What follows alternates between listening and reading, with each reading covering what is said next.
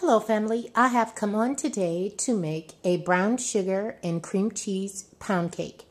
Now to make this particular pound cake family, we are going to cream together a full cream cheese block, a full stick of butter, which is equivalent to a half a cup of unsalted butter. We have one cup of uh, brown sugar. We have a cup and a half of white granulated sugar three cups of all-purpose flour, um, one cup of uh, buttermilk. We're going to use one half teaspoon of salt. These are five uh, eggs that have been sitting at room temperature. And we're also going to have two uh, teaspoons of vanilla extract and a half a teaspoon of baking soda. Let's get started. Our butter and cream cheese should have been um, sitting out to be room temperature. Uh, the butter is a little bit, but still kind of hard as well as the cream cheese. So what we're going to do is we're going to put it in the microwave and nook it just for like a good 10 seconds to make it a little bit more softer than it is. See, it's a little bit, but we want it to, I, I want it just a little bit more. I think it's the Virgo in me to just kind of be a perfectionist as well as frugal. What can I say?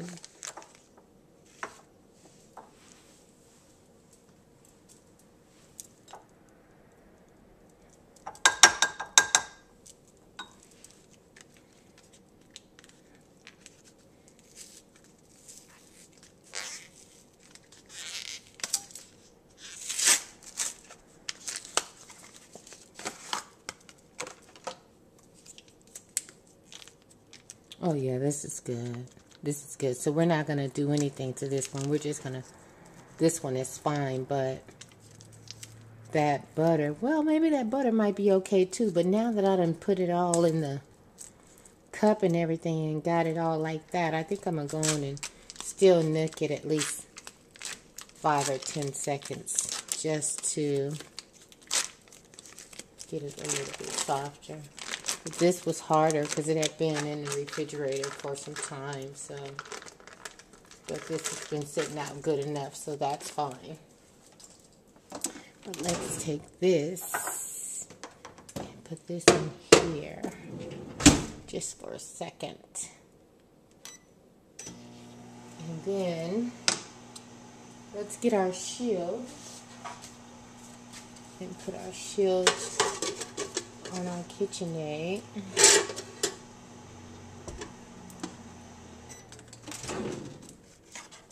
No, that's good enough.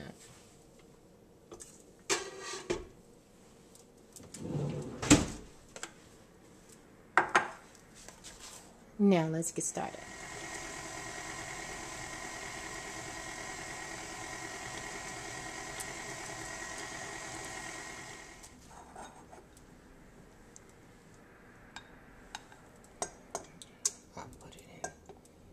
I'll put it in this opening here because I'll put the dry ingredients in the chute since I have the arm up.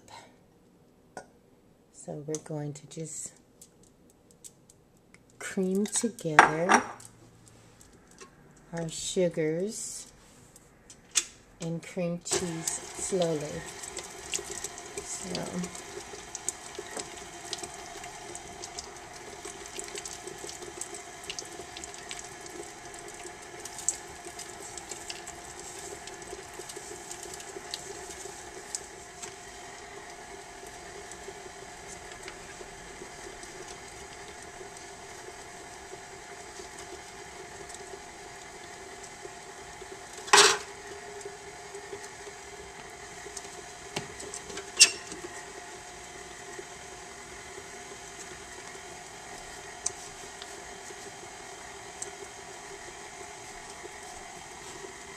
We're going to start cracking our eggs one at a time. Now, um, it is good practice to uh, break your eggs inside of a cup or something first. Um, but I just bought these eggs, so I'm just taking for granted that these eggs are fresh. But for the most part, you want to crack these in something first before you just add them into your dishes.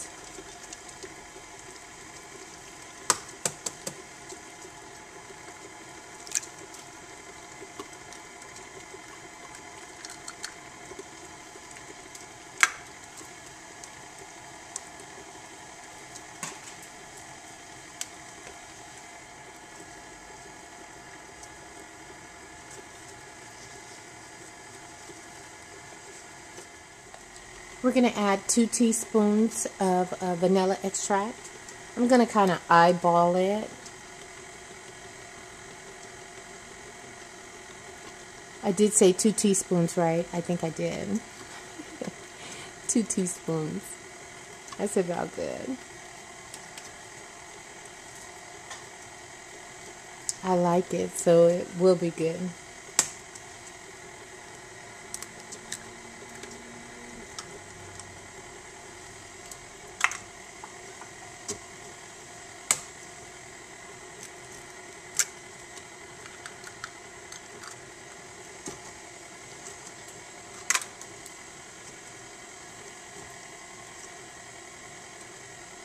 Let's get our dry ingredients prepared.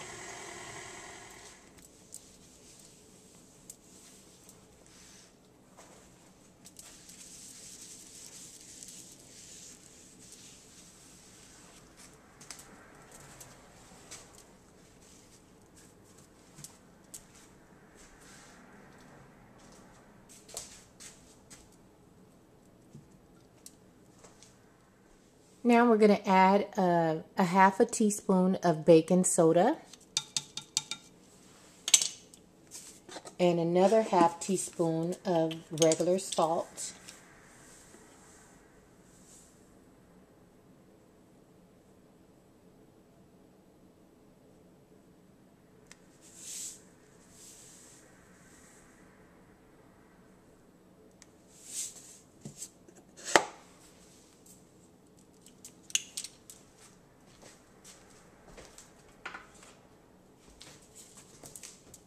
just going to take a little knife. It's fine. Just going to mix that in just a little bit. Like that.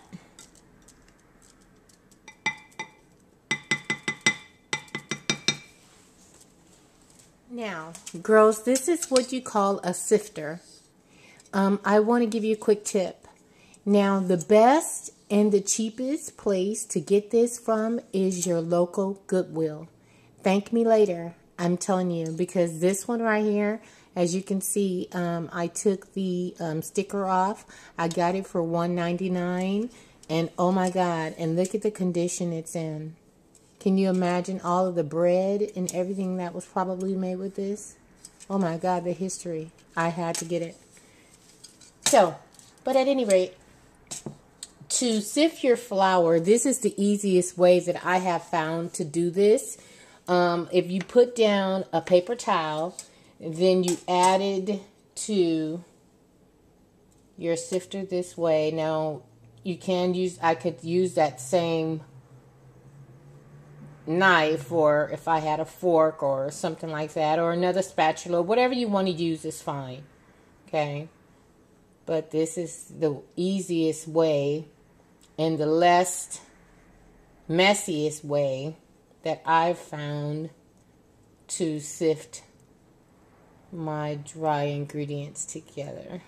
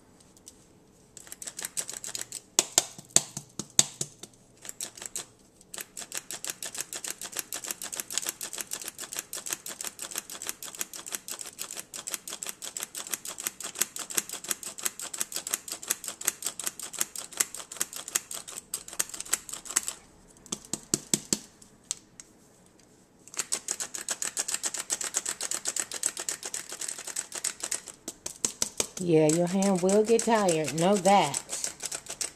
And this is three cups of all-purpose flour. So yeah, your hand will get a little tired. Believe that one.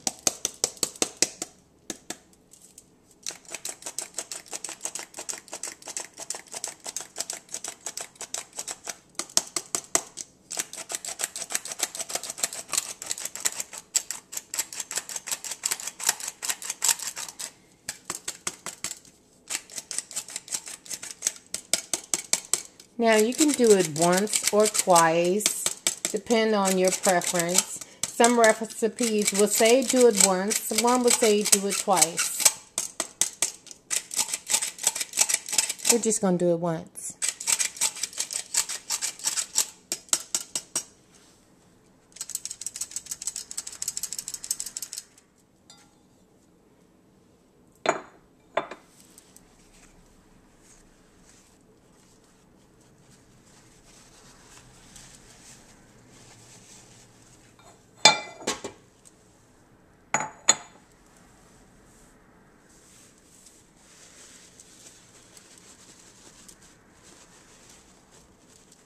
There.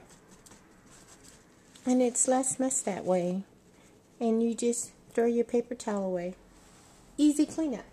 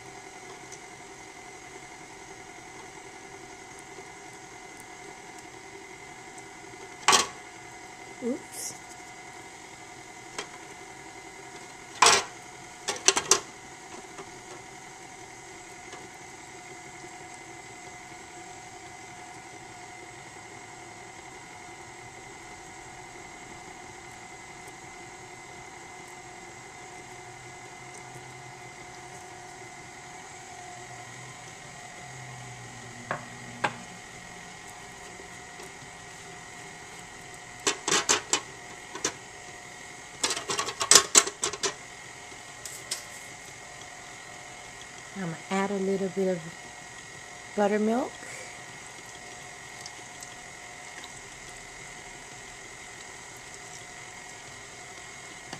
And then we're going to go back with our flour.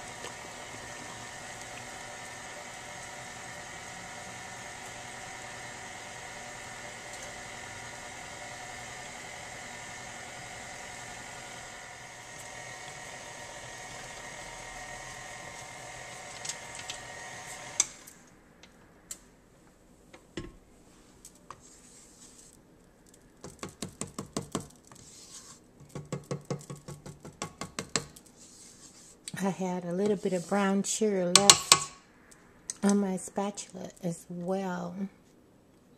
So to clean all this up and make sure that it is blended up well. Make sure we get these edges really good.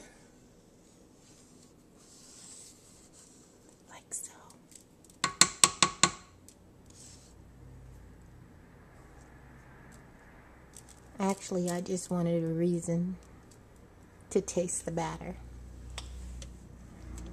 Oh my God. Mm, mm, mm. Oh, wow. Mm. Mm, mm, mm. So good. We're going to bake this at 325.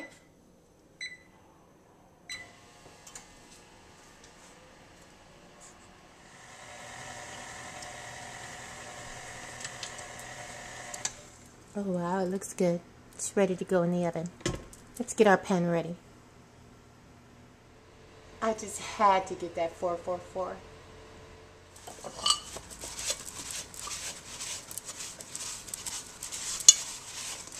Getting the excess water out of it.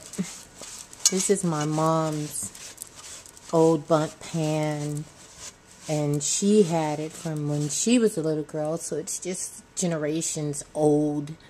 And I would really like to know how to clean it and make it like back to brand new. So if you guys have any ideas how to clean this and bring it back please let me know on what I can. I know this non-stick is not going to be non-stick like really. I, I spray it anyway but I would like to put something on it. Now, I've tried um, um, bartenders. What was it called? It's called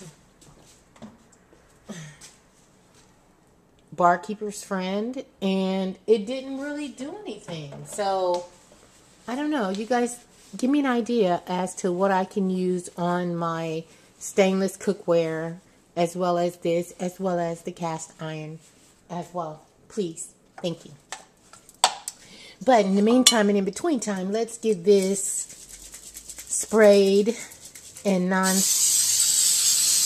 non-stuck or non-stick or whichever way you want to call it. Get it prepared for our pound cake batter.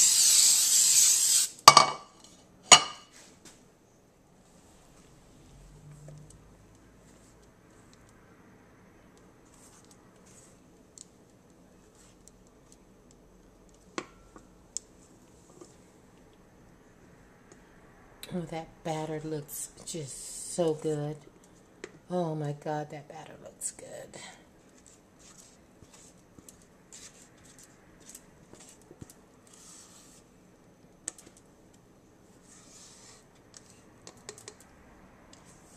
Oh, I works with my left hand, don't I?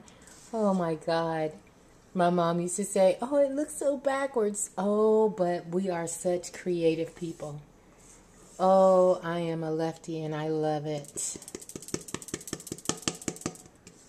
As long as I know what I'm doing, it's all good.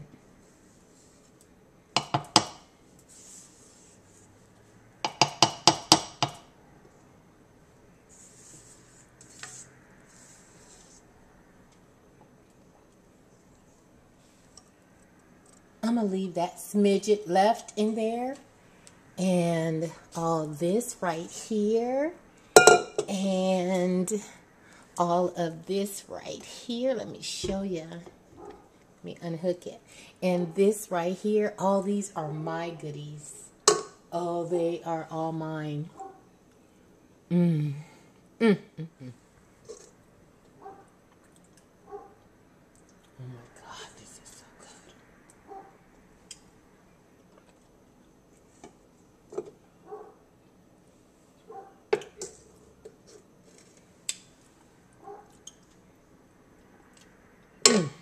Mm, mm, mm. Wow. Okay. Back to the video. Pardon me.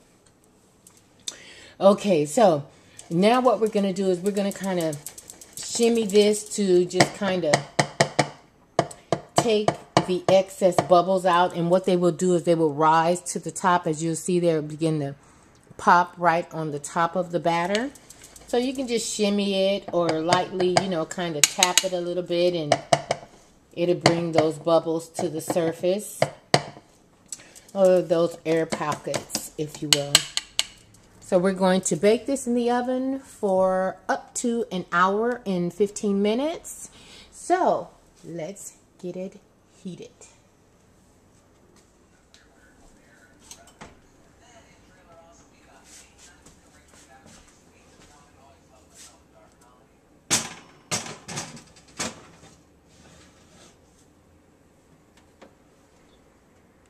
We're going to cook it for up to an hour and 15 minutes. I'm going to set the timer for, let's go with, I'm going to set the timer for an hour and, mm, hour and 10 minutes.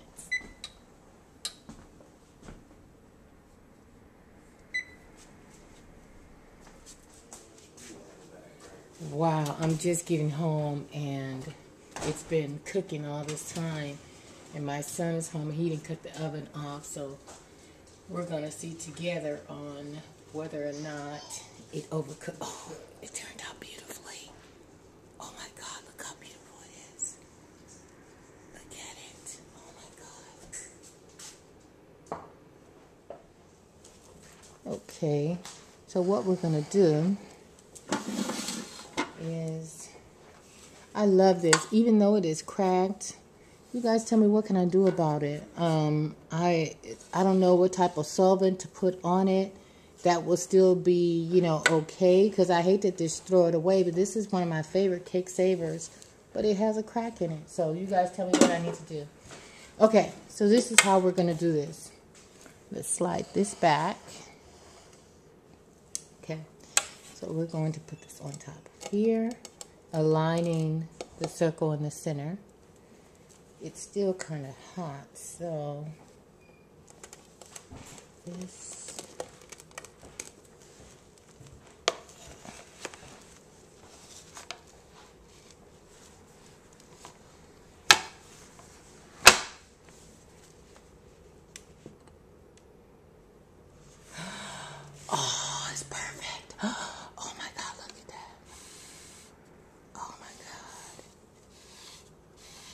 God. I was really nervous too because I had left it in the oven and I had to go run some errands and I really thought that it had burned. And when I got home and Isaiah was here, him and his friend, and I was like, oh my God, how come you didn't cut off the oven? But it turned out perfectly. To God be the glory. Let's make some glaze. Okay, to make our glaze, we're going to take some brown sugar.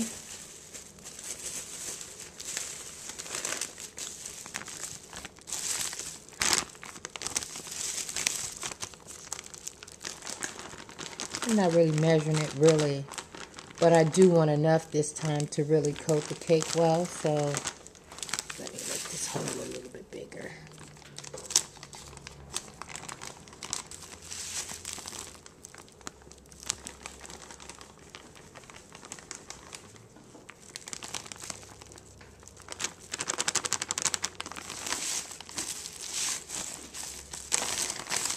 I like to keep my sugars um, double bagged up because it keeps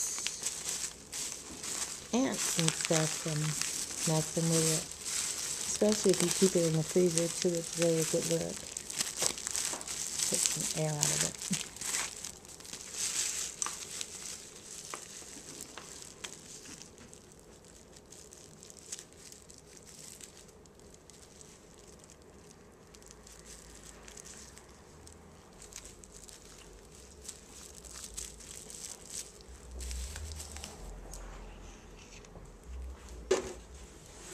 I'm not at all, but I'm just going to pour a little bit at a time.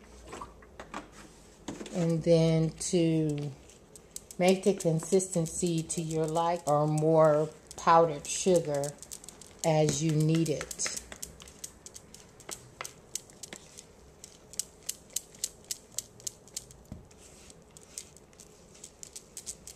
I like this mixing bowl. This was a good look. I just got it at the Dollar Tree for a dollar, and this is really good. I like it. Okay. Look like it's a decent consistency. Yeah, that's good enough.